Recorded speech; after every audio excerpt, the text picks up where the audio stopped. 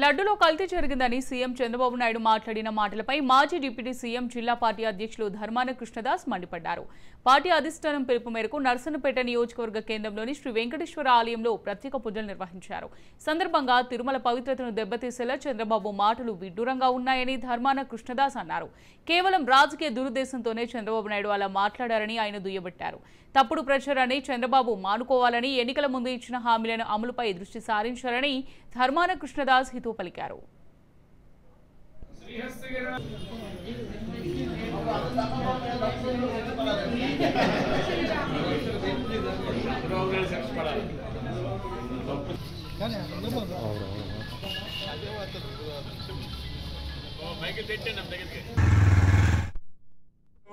ఒక దౌర్భాగ్యమైన పరిస్థితి వేళ చంద్రబాబు గారి నాయకత్వంలో నడుస్తుంది. ఎన్నికల్లో అనేక అబద్ధాలాడి ఆచరణ సాధ్యం కాని అనేక హామీలు ఇచ్చి ప్రజలకు వంచి మోసగించి మోసపూరితమైనటువంటి పద్ధతిలో ఓట్లు వేయించుకొని అధికారం వచ్చిన తర్వాత చెప్పిన మాటలు ఆచరించకుండా సూపర్ సిక్స్ అని చెప్పి మరి ఆచరణలో పూర్తిగా వైఫల్యం చెంది ఇవే దానిని ప్రజలకి తప్పుదోవ పట్టే విధంగా సాక్షాత్తు శ్రీ వెంకటేశ్వర స్వామి అంటే కలియుగ దైవం. ప్రపంచంలో హిందూ ప్రతి ఒక్క హిందువు కూడా గౌరవించే అత్యంత ఆరాధించే అత్యంత పవిత్రమైనటువంటి దేవాలయం తిరుపతి.